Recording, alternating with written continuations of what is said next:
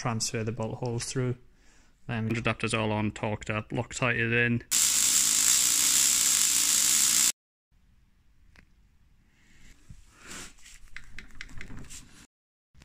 So I started doing the gearbox crossmember on this by modifying the existing one.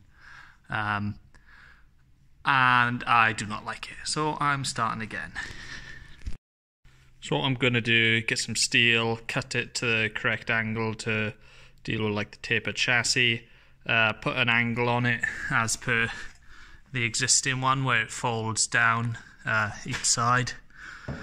Uh, ignore this, this is for when it was a 5 speed.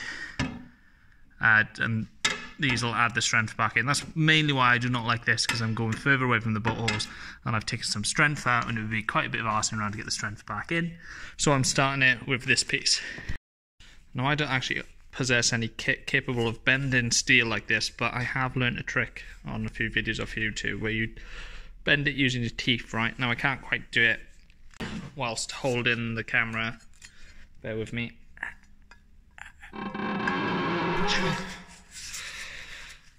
Alright then. And of course I got to chuck some holes in it. Now you can use the pillar drill, but again another trick I've used. Again I can't bloody do it whilst holding the camera, bear with me.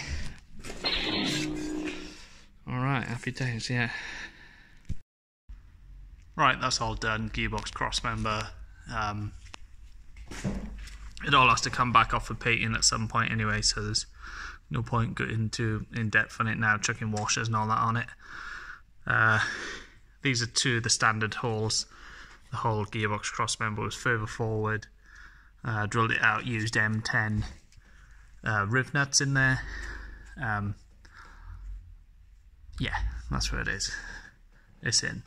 Box is central. Nice. So I'm going to pull the engine and box out. Then I can take the mechatronics unit out of the box, send it off to be rewired. Um, I would have a go myself, but it's one variable of it not working, which I could do with removing. So I'm going to get somebody else to wire it for me.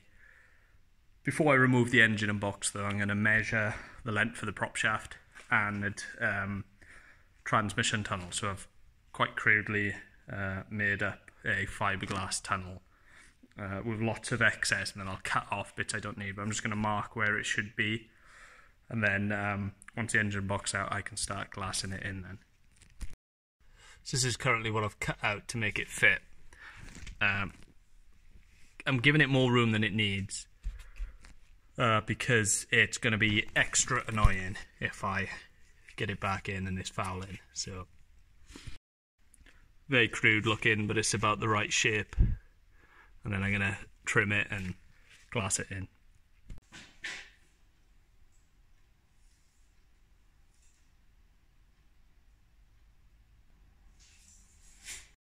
Quick measure of the prop has come back at 1088 millimeters and that's at the axle at full droop. Needs a slide in portion put in it because it's a solid axle car and obviously the prop gets shorter as the axle goes up into the suspension. So I'm going to send that information off to a prop shaft shop and see what they can come up with.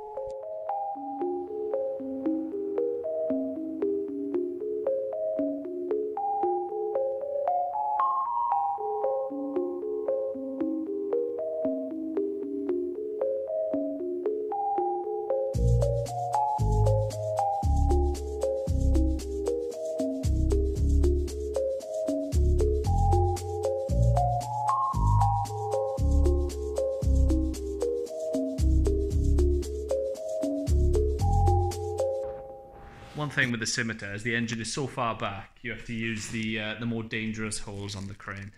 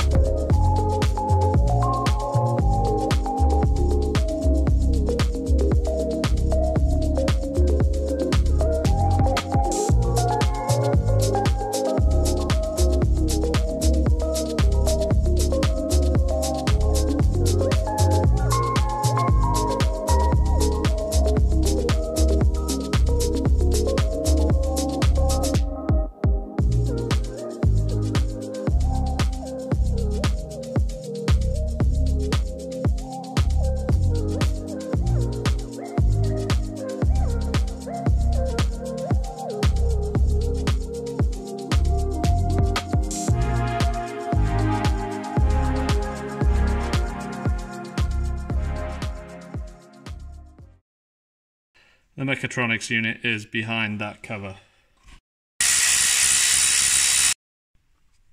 I've had this off before, so I was hoping that uh, there was no more oil left in it, but I guess being held at 45 degrees has found some extra.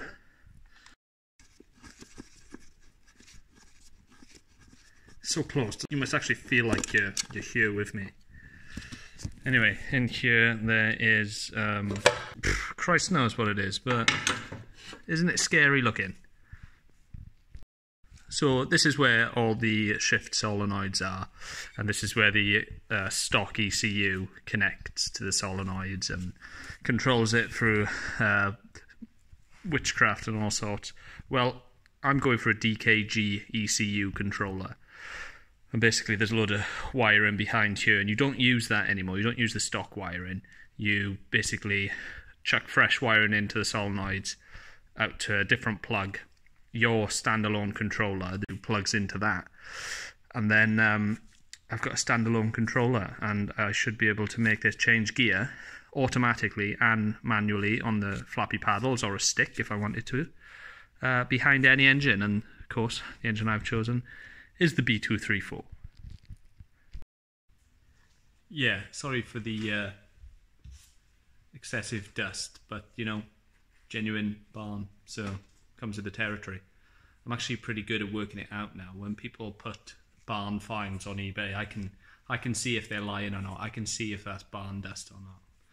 Most often than not, it's uh, they're just bloody chances. It's just regular dust.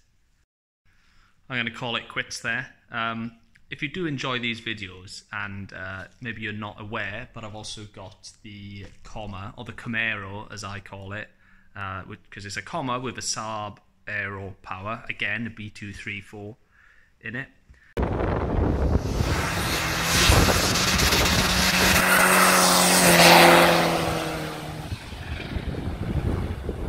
Uh, if you do like the sort of stuff that I ask around with then please consider subscribing and uh, sharing the videos about because I do think there is uh, I could go somewhere with this.